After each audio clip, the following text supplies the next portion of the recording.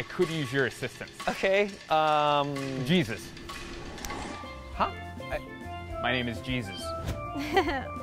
Sure. Jesus. I'm not exactly running late to work. Uh, what in the world's going on? Just what it looks like, Mr. Coding Genius. If I didn't know any better, I think you'd breaking up with me. You're about to blow another opportunity all because of your stupid act. I understand, I really do. Call you back in just a bit. I'll just save you the trouble. You're fired! Jesus is here today. You, uh, you looking for a job? Yes, sir. Good, then it's settled. You'll do our web stuff, and you'll be our new handyman. You and Mark have 45 days before the bank forecloses.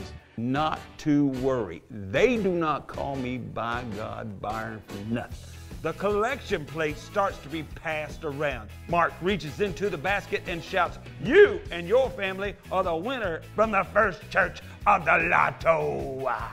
Kind of think of it like a high stakes bingo night every Sunday.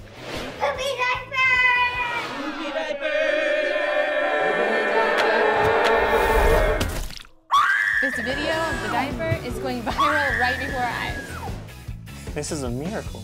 What is? Friends of Faith has over 300,000 followers. Oh my dad!